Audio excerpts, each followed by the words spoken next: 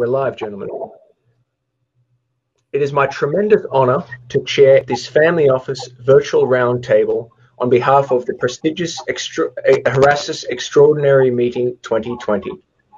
The purpose of this discussion is due to the substantial growth of family offices over the last 10 to 15 years, which has measured approximate a tenfold increase according to many studies, including a recent E&Y study. We are aware that there are a diverse range of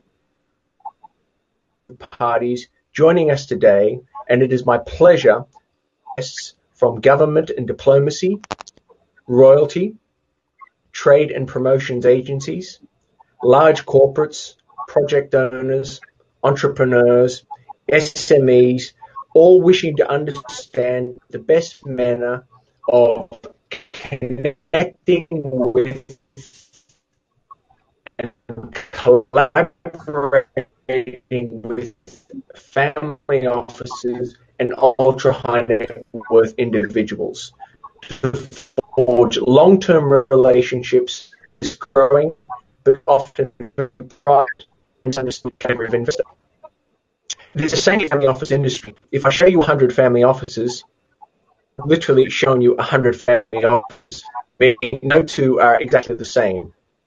So to open your perspectives further, I provide a road of how selected family offices operate and what their thoughts are leading into the future during the, this uh, surge of pandemic risks. We assembled several experts with clearly diverse backgrounds, differing geographic focus, and views on investment criteria. The topic of the, the first of this topic will be family offices investing in the pandemic risk. With COVID 19, there are challenging hurdles facing business owners and investment groups seeking family funding. Where are the financially uh, liquid family offices allocating their wealth during these uncertain times? What is the best asset class for these investments? And most importantly, what it's my tremendous uh, pleasure to bring in and introduce our distinguished guests. Firstly, Aitua Ekhaese, who is managing partner of North Hill Advisory Partners out of the United Kingdom. Uh, George Kanaan, who's had some technical issues, may join us shortly uh, for this uh, for this, this this webinar. He's the Chief Executive Officer of the Arab Bankers Association. Ian Morgan, who is Head of Transaction of iWestcore Europe in the United Kingdom, a single family office. And Asher Noor, who is Chief Investment Officer of Al Touq Group, Saudi Arabia, a single family office. Gentlemen, it's a tremendous honor to welcome you all here. Thank you, Peter. So, to kick things off, what we're going to do is, uh, is, is, is really just sort of get everyone have a chance uh, to understand a little bit more about each and every one of you. Um, so, in approximately 60 to 90 seconds, it'd be my pleasure if you could share with us a little bit about your background and how your family office was formed. Um, how did it come to be, as it were?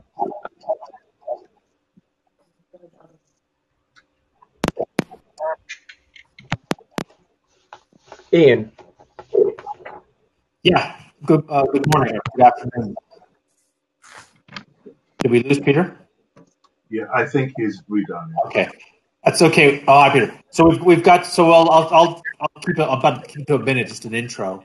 Um, so my background is in is in private equity, corporate finance, and real estate with a lot of real estate. Um, I worked in New York um, for for about six years before coming over to uh, the UK about 14 years ago, um, and I've been focused on real estate, private equity, family office investments, and uh, uh, pretty much in real estate um, and property. Um, so, um, of how you know the background of the family office, um, you know, our principal is out of the U.S. Uh, made his money in in property, in commercial property, and so we focus um, on commercial property. Uh, so we're long on commercial property. Um, we have some some of our exposure is more passive and uh, and liquid um, as a you know non real estate. The real estate that we do is, is more growth oriented versus versus wealth preservation focused. um, and focus on um, Western Europe. So that's a quick summary.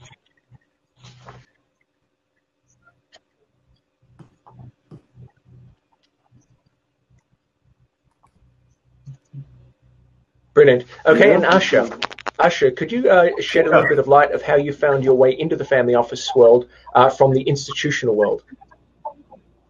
Sure. So thanks, Peter. Glad to be here.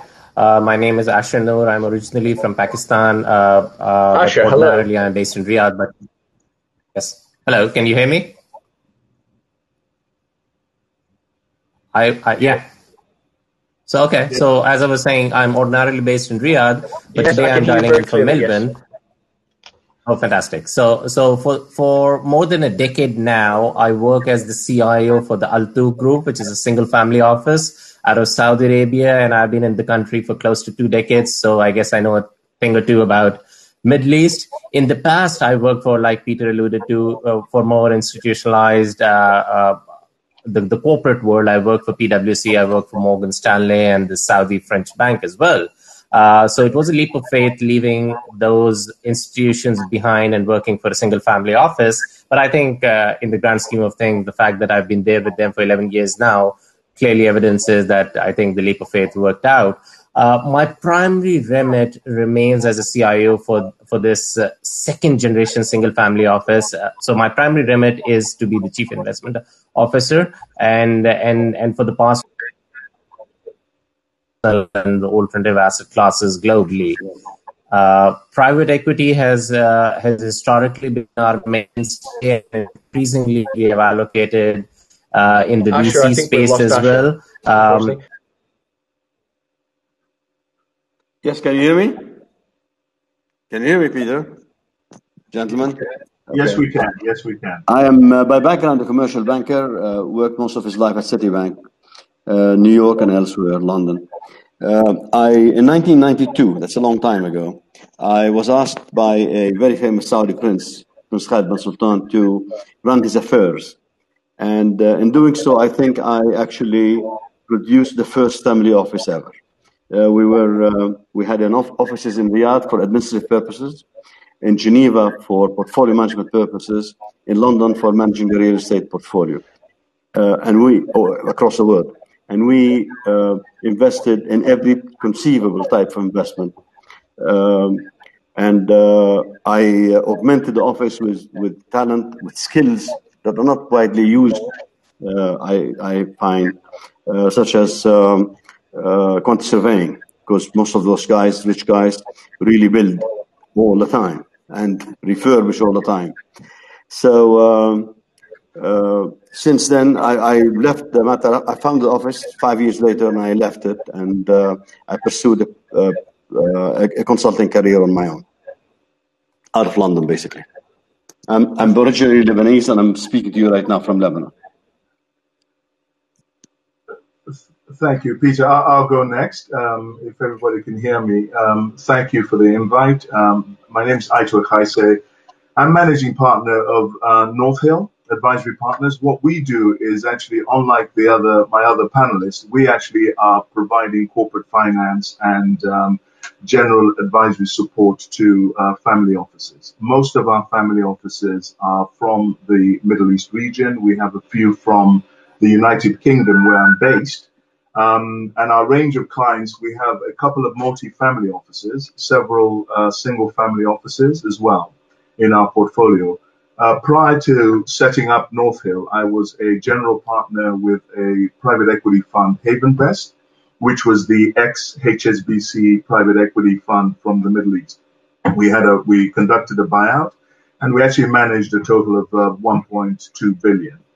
Uh, prior to that, for best part of a decade, I was um, running a family office out of London for a Saudi family and responsible for the illiquid uh, portfolio, as well as managing the offices in uh, India and the GCC. Um, I think the way we look at ourselves is that we are essentially a, a, a virtual support to family offices. So we're really trying to identify and um, help execute their investment strategy. So I thank you for the opportunity.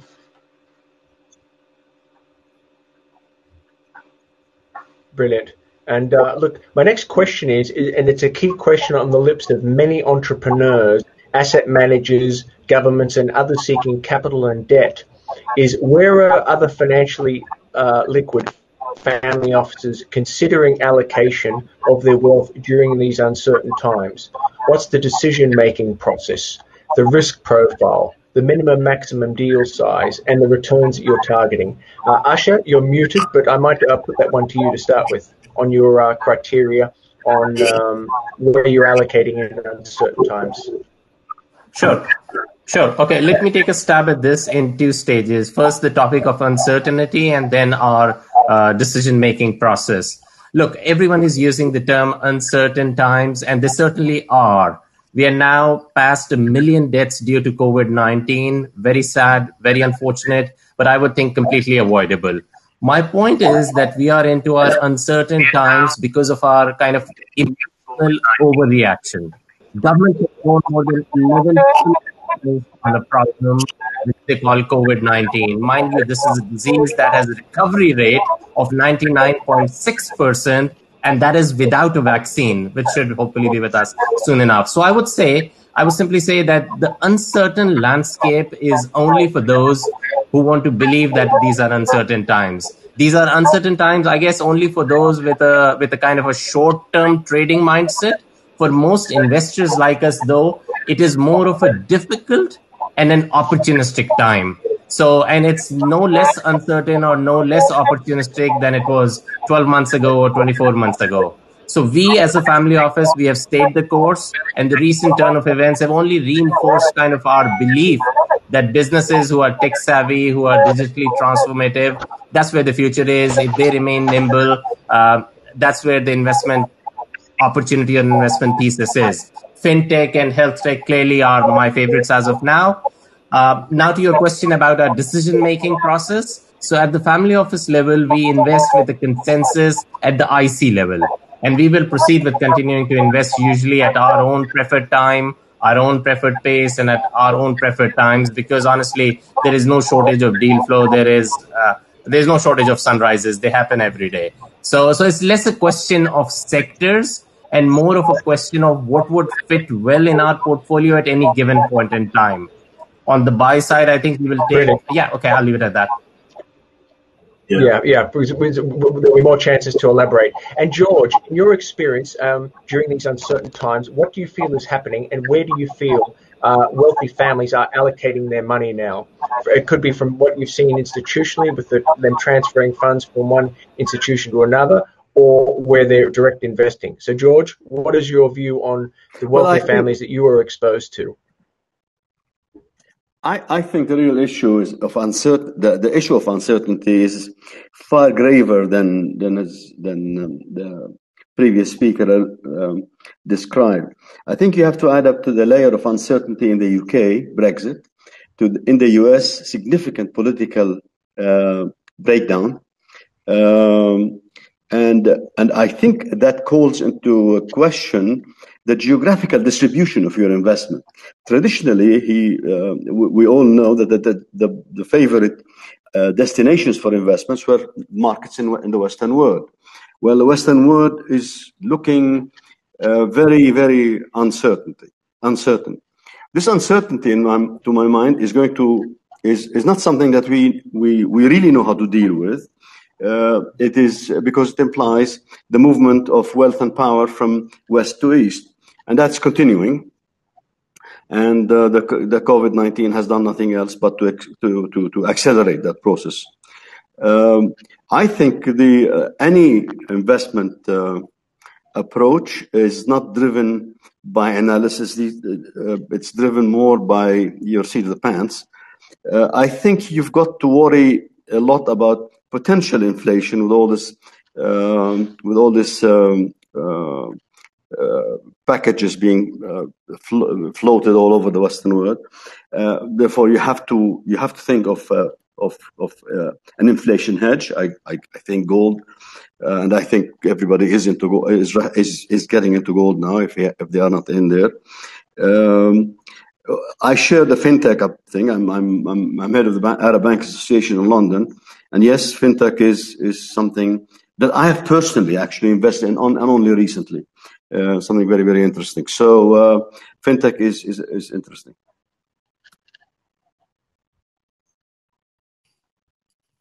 Thank you.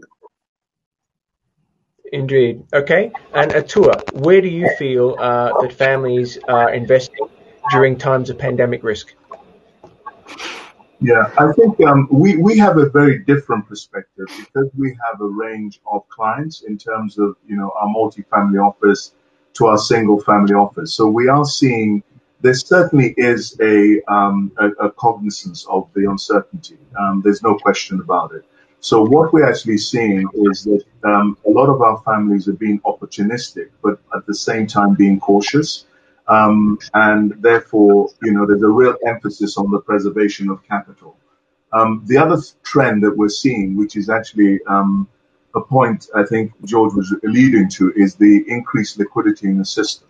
So we're seeing a lot more leverage actually, and uh, some of our families taking advantage of this excess liquidity, especially coming in from the non-traditional financial uh, institutions so that there's, I think, if I was going to characterize it, I think one of the ways in which they're trying to mitigate these uncertain times is really to ensure that there's a higher quality in terms of the counterparts that we're dealing with. So there's a real emphasis on um, performance attribution uh, and the like, and a willingness to be more in control of the capital deployment, and that's that's something we're seeing a lot more of. In terms of sectors, we'll come on to that. I don't disagree with the sectors my fellow panelists Indeed. have mentioned. I think we'll come on to that later. Yeah. Yes, that, that, that's our next question. Yes, indeed. Well, Ian, uh, so where uh, do you feel that uh, family offices, or perhaps your family office, so, during these uncertain times?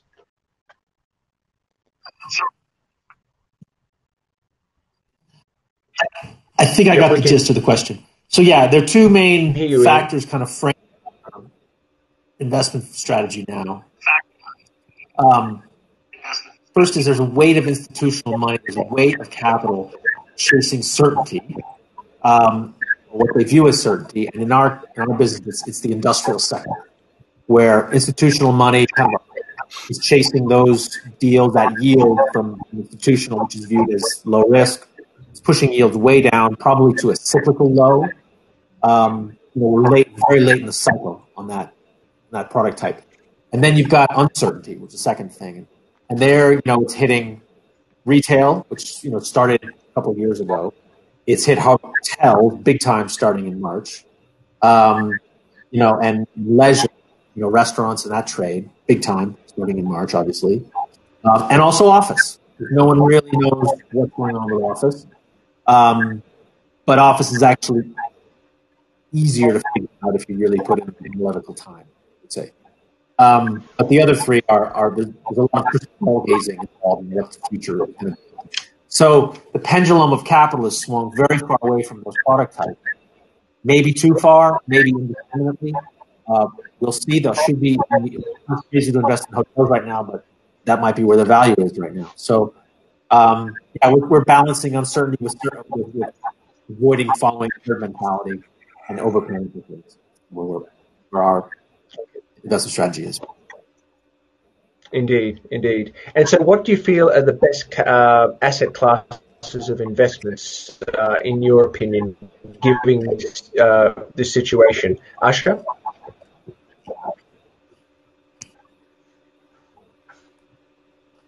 Uh, so, well, I, I'm not fond of saying that it depends but honestly, the right answer to this, because to each their own, I would think the right answer, the appropriate answer is it depends. So while I might not know what is the best asset class out there, uh, I can tell you one thing what is not a good asset class right now. And maybe from that, we can derive a better option. So my approach right now is to stay away from the public markets. On paper, they just they just don't make sense at all right now. Uh, uh, uh, Nasdaq was nine thousand at the start of the year. It's it's uh, eleven thousand something now. S and P was three thousand 200, 300. It's flat. It's it's it's the same. Dow Jones is again flat. Started out at 28. It's still at 28. The Saudi Stock Exchange. It was at 8,000 at the start of the year, and imagine the oil crisis that we had uh, in the in the past six months. And and the TASI the Double Stock Exchange, is actually up. It's 8,300 now. So at least in these now these numbers, these indexes, they kind of mask the reality uh, of the pandemic, where we have had this roller coaster ride, the volatility that we have seen. Uh, so, so to me, the public markets as of now are extremely frothy, and by that and by that logic, I would think the private markets is the place to be in.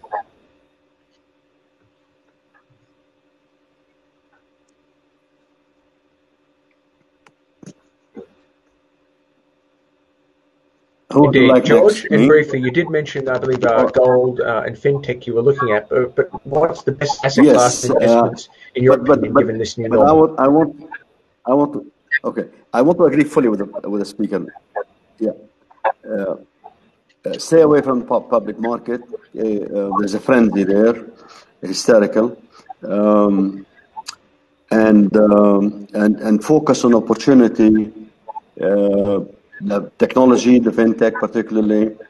Um, there probably are opportunities everywhere. There are people in distress in a lot of places, and uh, a lot of things that can be done uh, that are uh, that you wouldn't expect. So uh, I would say keep your eyes open, uh, eyes open, and um, and think of each situation by itself, and don't go into any generalized rules or or or, or uh, schemes. Just uh, stick to specific opportunities and look into them deeply. There, there are a lot of people in trouble. A lot of people need rescue. Some of those are ex- excellent opportunities. Thanks. Yeah. Yep. Uh, Should I go next? yeah, I, I, I would just classes, uh, very quickly. I think we don't. I don't disagree. I think what we're seeing from our yeah, I think from our perspective, what we're looking at is there's a lot of opportunistic trades out there, and I think this is a time for nimbleness um, and and also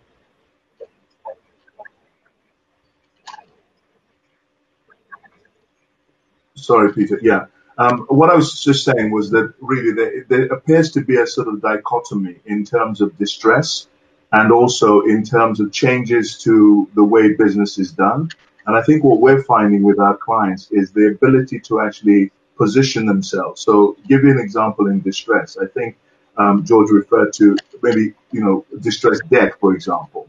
So some of our clients are looking at that sector and are saying to themselves, if I have a long-term horizon, and I believe that these companies will get restructured, then it's something I'd like to look at. And sorry, sorry Peter, what was that? Mm-hmm. Indeed, indeed. So, and uh, Ian, so, what are your thoughts on uh, asset? Sorry, sorry, the stream was cut out. I thought you'd concluded. no, no, I had sorry. What I was just very quickly to round up is that on the distressed side. The only thing I would say about the advice on the public markets, I totally agree with my fellow panelists.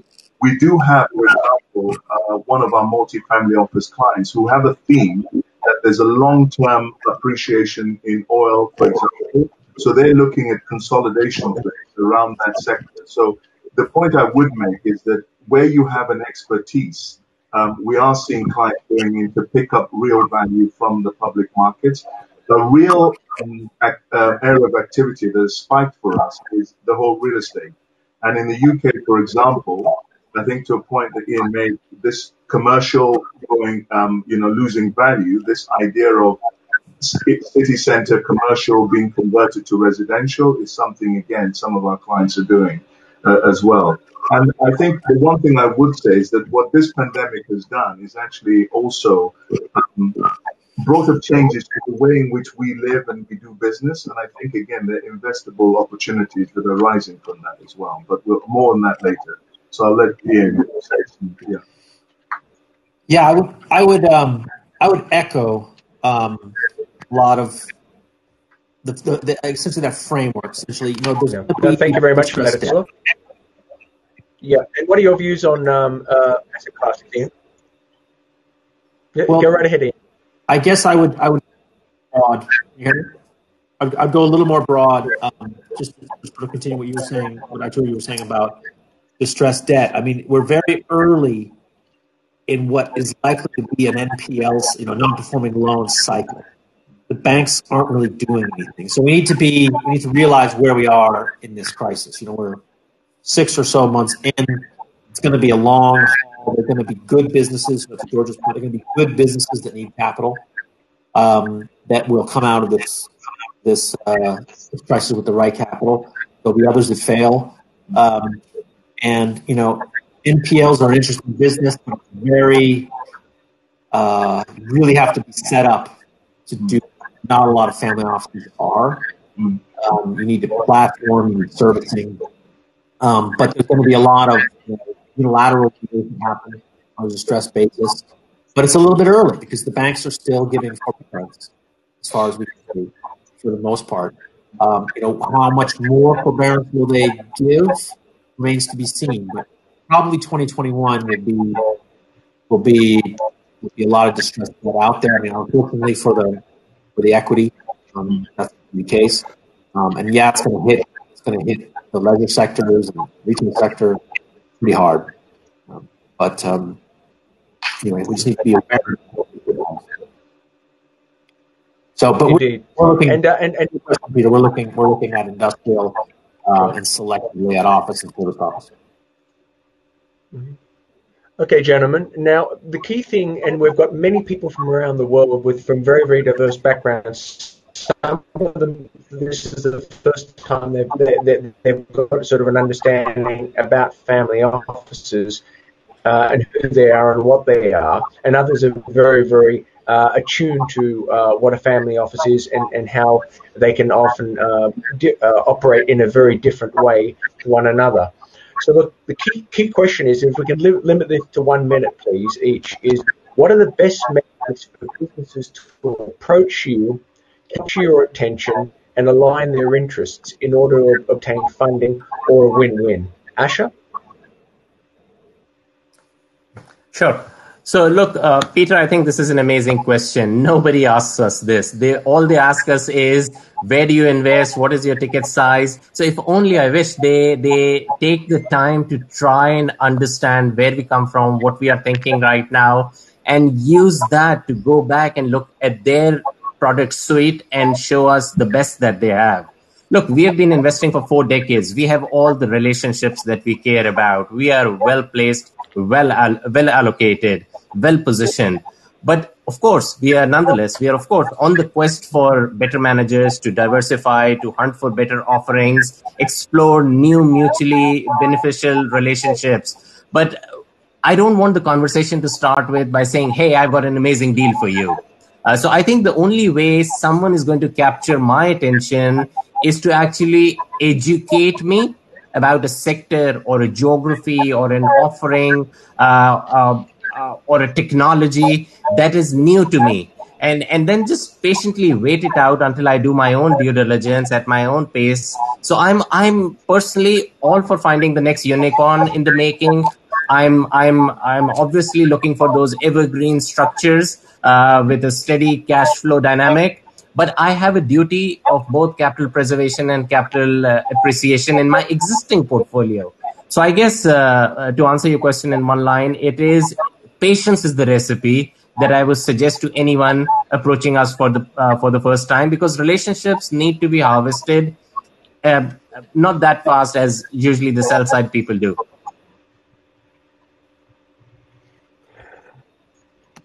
Uh, family office sector treat it like they're speaking to institutions with the checks, checkbox criteria. And the relationship component, understanding your specific needs as a family office is a very, very unique situation to each party. And it's about cultivating those long term relationships and really understanding uh, that. However, the key thing that, that, that I'm sure our speakers will att- uh, attest to is the fact that uh, family office money can often be sticky money, as they say in the industry, meaning they may take their time to make a decision, but once they do, they do really want to stick with you uh, if they believe in you and your company and your vision.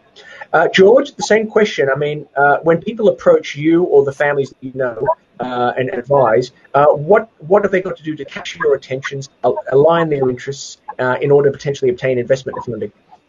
I, I I don't know how to answer this question actually. I um, we, we, you know I get approached all the time, almost nonstop, and um, um, I'm not sure. I, I can I'm not sure exactly what catches my attention. Uh, what uh, maybe the maybe the fellow, maybe the idea, maybe an environment, maybe something I've just read or seen or uh, a movie. I don't know. Um, it's a difficult question to answer, and I would have thought that um, uh, it depends a bit on your mood as, as at the time. Uh, I can't give you a scientific response on this one. I'm sorry, Peter. Uh, Peter. Peter.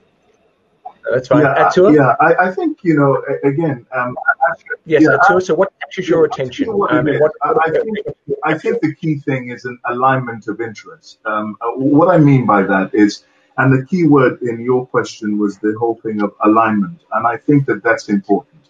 And and the appreciation when they come to us to present, because again, we see a lot to present onto our families, and so what we're looking for is really our clients' money is participatory money. They, it's not the days of passive investing is, is, long gone. So a lot of our clients are of a sophistication that, to Ash's point, they can understand the offering, and therefore they want to see a true alignment, and they want to see to capture that sort of they want to see a demonstrable edge in terms of whether it's technology or it's market. They want to see that differentiating factor.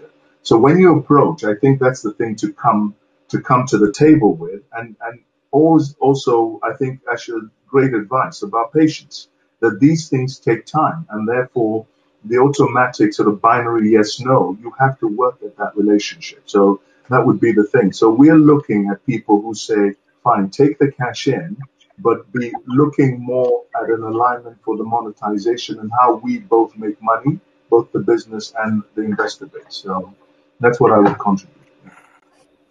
Tremendous. And Ian, what captures your attention? What uh, people? What what, what what what what what makes a connection with a, a third party that uh, potentially has you uh, uh, won over or impressed that they would you would want to potentially align your interest with them or invest?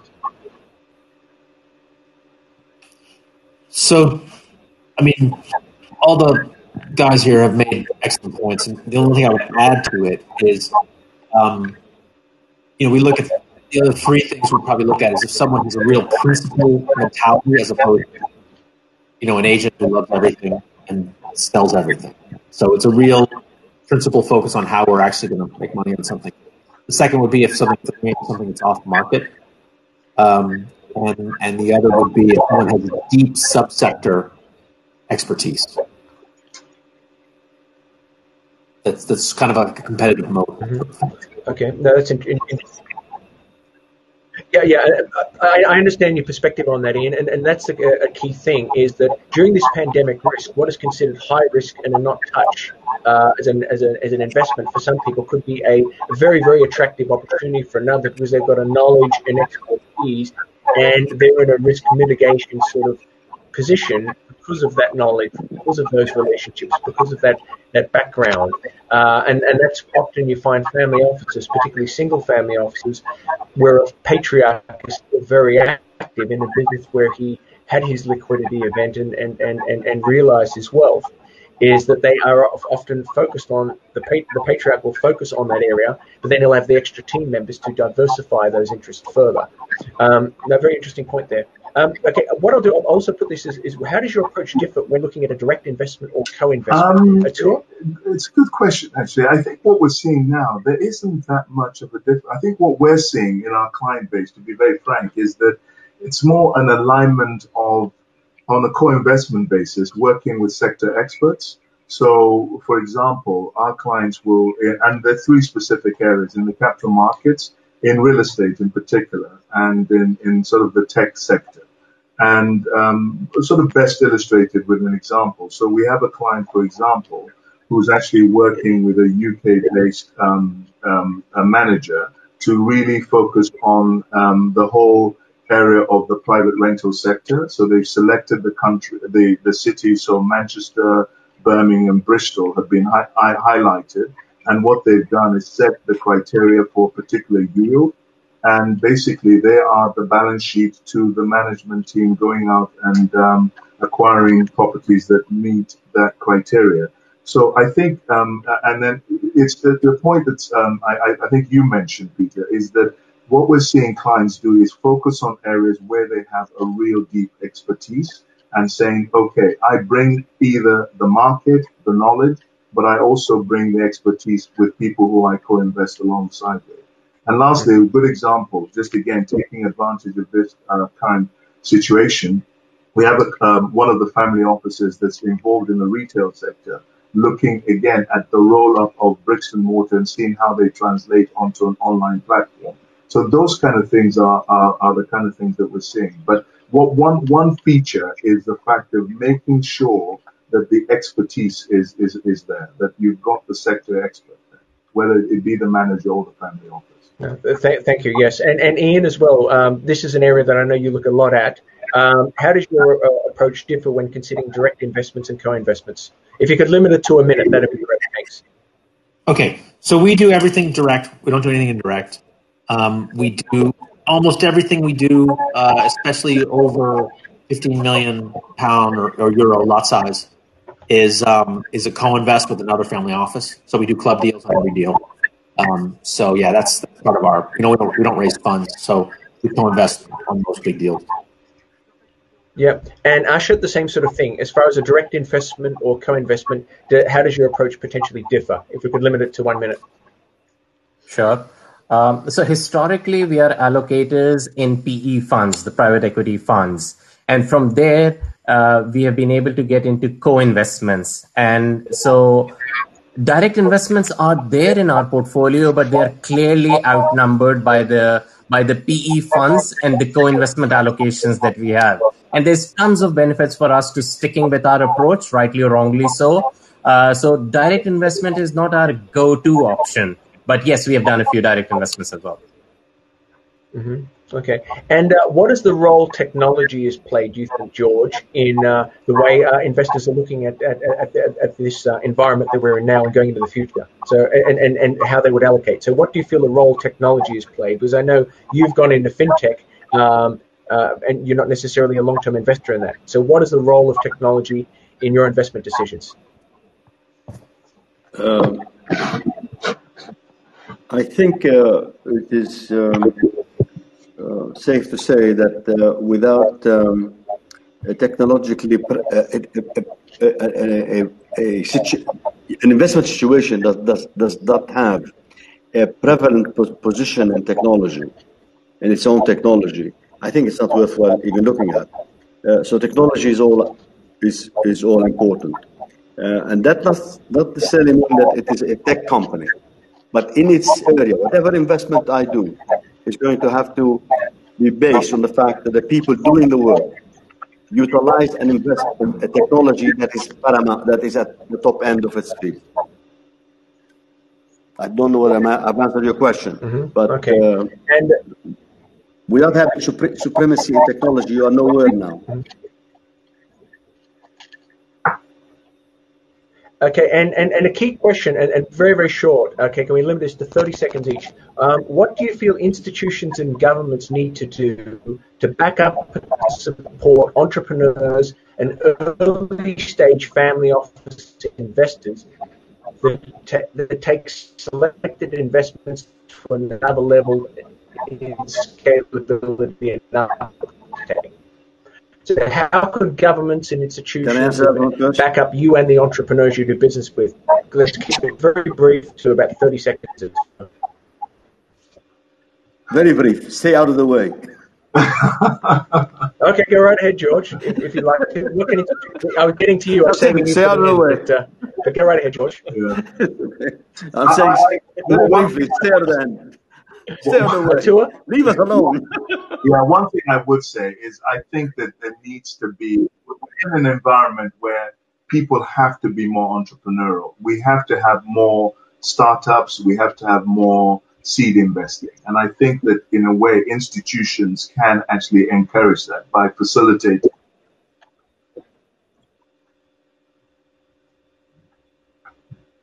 Sorry? I didn't hear you. Okay, and uh, Asher, uh, as well. What, what do you, Asher, what do you feel institutions and governments need to do to back up and support um, family offices and uh, early stage in, uh, family offices and entrepreneurs? I think the role of the government is pretty much defined, and they should stick to the role of managing the fiscal policy and the monetary policy and providing the infrastructure support. So on, on, on the VC side, on the acceleration and the incubator side, I think if they can provide more tax friendly uh, regime, I think that is all that is expected or required of them and let the, let the capitalist economy decide for themselves which sectors to allocate in and where, where the money and where the interest lies. Yeah. Okay, we're going to have to uh, take this into a close. So, um, and as a special uh, insight to our audience here at Horasis, in maximum 30 seconds, if you could pick one, maximum two investments or sectors in any geographic location internationally that you feel could be the most successful in the coming three to five years, what investment, sector, or opportunity would that be? And what's your reason for having that confidence? So, one investment anywhere in the world, if you had to pick it, okay, uh, what would that be? Asher, why don't you start and we'll circulate. Okay. Sure. So I'd say food tech is the next frontier in terms of making billionaires out of founders and investors. So investing in food tech is expected to probably give you the best bang for the buck right now from food aggregators to cloud kitchens and this new craze about uh, about food being made in laboratories now. I'm referring to the the likes of impossible foods all points to where the next successful opportunity might lie. And for me that is food tech.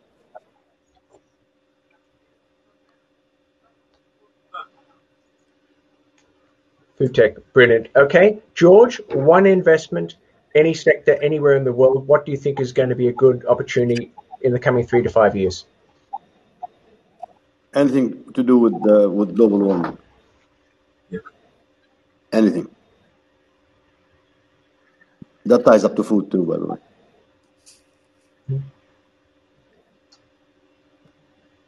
Mm-hmm. Okay. Mm-hmm. Indeed. And Aitua? Uh, for me, it's um, digital health and how we use AI in, in, in health. And uh, it, it's digital health and how we use um, artificial intelligence and telemedicine. I think that's a huge, huge growth area. Yeah, yeah, absolutely. Yeah.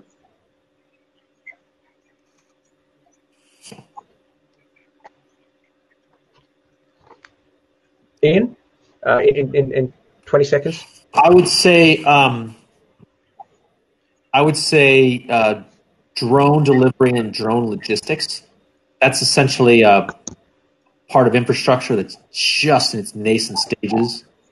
No one knows, um, you know, who's going to be the winner, winners in this sector, and it's kind of like you know the railroads getting set up. It's going to create a lot of wealth for someone who can, who can you know gain scale. Um, and it, it, might not be it might not be Amazon and those guys. Yeah. Well, that's exciting, ladies and gentlemen. So you've just hear, heard from four world-class experts uh, with all very unique, different and different backgrounds and expertise, have given you uh, many unique insights here. And uh, I don't know about you, but I can't wait to investigate a number of these insights uh, further that they've just given. Um, in summary, you've basically gained a very unique perspective from several world-class investors and experts from very diverse family offices, and we've gained greater insight into the challenges facing governments, business owners, investment groups seeking family office funding, where financially liquid family offices are allocating wealth during these uncertain times, the best asset classes in their opinion for investments, the best methods and approach to potentially collaborate with family offices and obtain funding, and that special one insight um, that, uh, that that they've shared with you that uh, could, quite frankly, be a, a, a, a very valuable investment to consider into the future. But again, no formal investment advice given, but just their opinions. We strongly encourage all of our distinguished audience to take action with the tremendous knowledge and insights provided today and welcome interactivity, collaboration, which has made Horasis so successful over the years. Therefore, for further thoughts or questions, you are most welcome to reach out to Horasis directly, myself via email at inquiries at aetosinvestments.com. That's inquiries with an E at Aetos Investments, A-E-T-O-S, investments.com, via LinkedIn at Peter J.R. Aylwin, or our website, which is presently being revamped, www.aetosinvestments.com, or any of our distinguished panelists via their social media or uh, their links uh, that were in their bio. Um, this concludes our Family Office Roundtable discussion. I thank our distinguished panelists, the dedicated staff of Horasis, and particularly Horasis chairman, Frank Jurgen Richter, whose dedication and commitment has made this engaging family office roundtable uh, possible.